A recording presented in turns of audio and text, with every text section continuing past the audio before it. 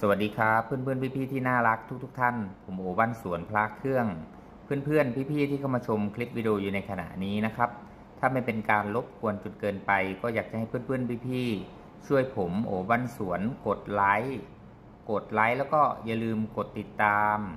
กดกระดิ่งนะครับ ผมเพื่อแจ้งเตือนวิดีโอใหม่ๆ หรือว่ากดแชร์เพื่อเป็นการเผยแพร่กิตติคุณบุรุพาจารย์ร่วมกันครับ ที่เพื่อนๆพี่ๆเห็นอยู่ในขณะนี้นะครับ ผมก็จะเป็นที่ระลึกวัตถุมงคลของหลวงปู่ต๋อง อุตมะธรรมโม วัดถ้ำน้ำทิพย์จังหวัดหนองบัวลำพูนะครับ หลวงปู่ต๋องท่านนี้ท่านจะเป็นธรรมทายาทสายตรงของหลวงปู่ขาวนาลโยวัดถ้ำปองเพนนะครับ ท่านเป็นพระอริยสงฆ์ที่เรียกได้ว่าหลบเล้นจากความเจริญทางด้านวัตถุนะครับผม อยู่ในป่าในเขานะครับ วัดถ้ำน้ำทิพย์นี่อยู่ในจังหวัดหนองบัวลำพูซึ่งใช้เวลาเดินทางออกจากถนนใหญ่นี้ก็พอสมควรนะครับ ผมซึ่งทางไปวัดของท่านค่อนข้างที่จะไม่เป็นที่รู้จักมากนักนะครับ ผมต้องอาศัยถามทางจากชาวบ้านนะครับ ผมเข้าไปเรื่อยๆ จนถึงวัดถ้ำน้ำทิพย์นะครับ เดี๋ยวภาพรายละเอียดในส่วนขยายของ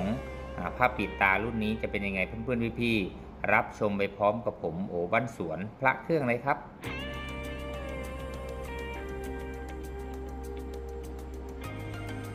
มาชมภาพรายละเอียดในส่วนขยายของ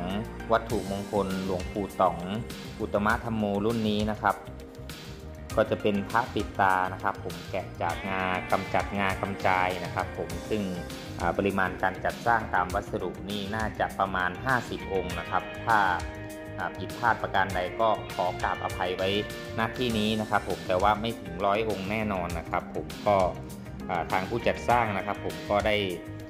แกะสลักเป็นรูปพระควมปติหรือพระปิดตานะครับมีขนาดความกว้างอยู่ประมาณ2เซนติเมตรนะครับแล้วก็ ส่วนสูงโค้งด้านล่างถึงโค้งด้านบนนี่อยู่ที่ประมาณ 2.5 เซนนะครับผมอาจมีบวกลบเป็นมิลนะครับ ผมก็วัสดุธรรมชาตินะครับ ผมก็เอาแน่เอานอนไม่ได้ แต่ว่าโดยรวมแล้วก็ปริมาณขนาดก็ตามที่ผมพูดนี่แหละครับ ผมตรงกลางเป็นรูปพระปิดตานะครับ ผมขอบของพระนะครับ ผมช่างแกะเป็นเกลียวเชือกนะครับ ผมยกขอบขึ้นมานะครับผม เดี๋ยวมาดูด้านหลังนะฮะด้านหลังก็ถือว่าเป็นความธรรมดาที่ไม่ธรรมดานะครับผมอย่างที่หนึ่งเลยนะครับผมคือมีการบรรจุมวลสารไว้ภายในด้วยนะครับผมที่แรกผมเห็นหลาย ๆ องค์นะครับ ผมไม่มีเส้นเกษาโผล่มาผมนึกว่าเป็นแผ่นเงินนะครับ ผมแล้วก็นำไปแปะติดกับชิ้นงาที่เป็นผ้าปิดตาแค่นั้นนะครับ ผมแต่พอ เห็นบางองค์มีเส้นเกษานะครับผมโผล่ออกมานะครับผมแสดงให้เห็นว่าผู้จัดสร้างก็มีการใส่ใจนะครับ ผมว่าต้องมีวัสดุหรือสิ่งอื่นสิ่งใดนะครับ ผมที่เกี่ยวพันด้วยครูบาอาจารย์หลวงปู่ตองด้วยนะครับ ผมก็บรรจุเกษาขององค์ท่านไว้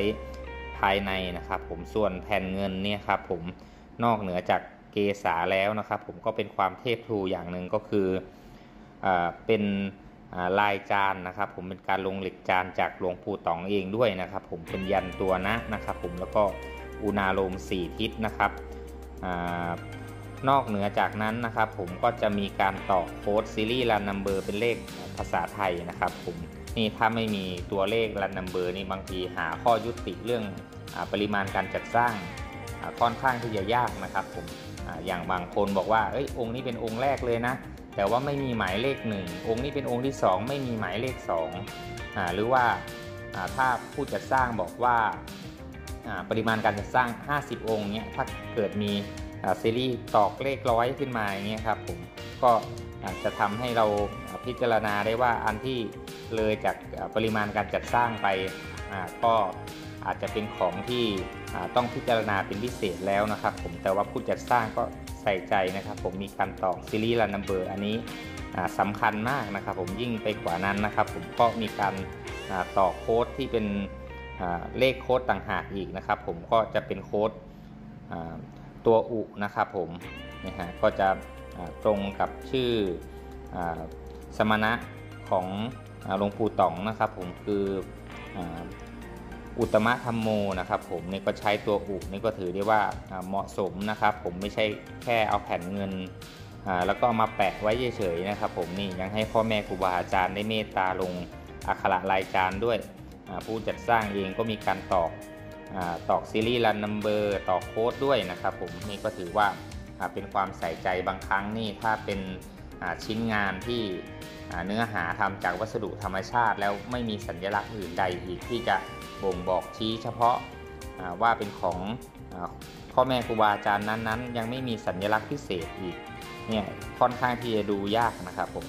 นี่ก็ถือได้ว่าเป็นอีกหนึ่งวัตถุมงคลของอพระในสายกรรมฐานนะครับ ผมยิ่งด้วยหลวงปู่ตองนี่ท่านเป็น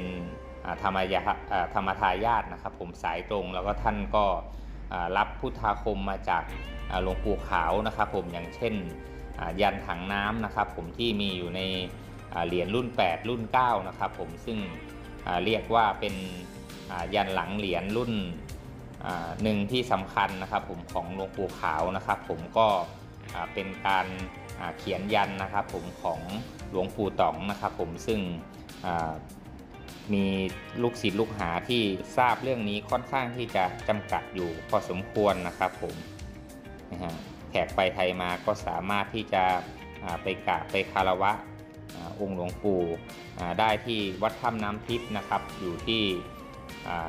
อำเภอเมืองอของเราเองนะครับ ผมออกจากตลาดห้วยเดือเดิมนะครับ ผมออกไปไม่ไกลมากนักนะครับสำหรับในเทปนี้ก็ต้องขออนุญาตยุติไว้แต่เพียงเท่านี้ครับ สวัสดีครับ